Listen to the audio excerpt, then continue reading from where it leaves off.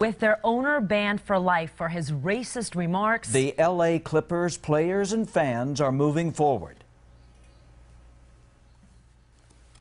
I don't think this is something that, um, you know, we rejoice in or, or anything like that. I think they were just happy that it was a resolution and it's over.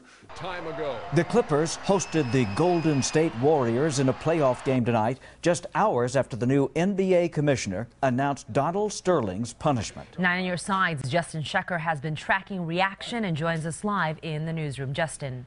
Guy Stell, there was speculation the players would stage a walkout or the fans would boycott tonight's game at Staples Center. Instead, the basketball world is at peace following the commissioner's historic decision.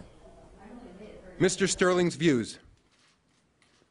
They simply have no place in the NBA. After an NBA investigation verified this voice. Don't come to my games. Don't bring black people and don't come. Commissioner Adam Silver made it clear Donald Sterling no longer has a place in the NBA. I am banning Mr. Sterling for life from any association with the Clippers organization or the NBA. A harsh punishment plus the max $2.5 million fine, handed down in response to the racist rant recorded by Sterling's girlfriend. Do you know that you have a whole team that's black that plays for you? You just, do I know?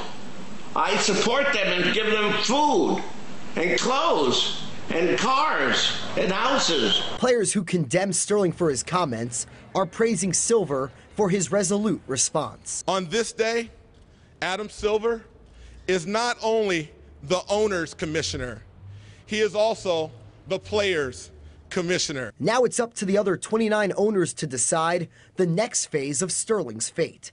A three quarters vote will force him to sell the Los Angeles Clippers. I fully ex expect to get the support I need from the other NBA owners to remove him.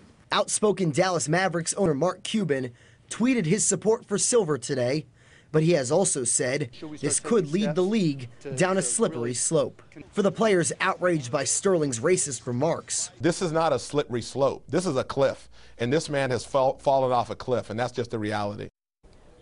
The Phoenix Suns owner and Tucson native Robert Sarver is among those expected to vote in favor of forcing Sterling to sell the Clippers. Reporting live in the newsroom, I'm Justin Shecker, KGUN 9 on your side. Justin, thank you.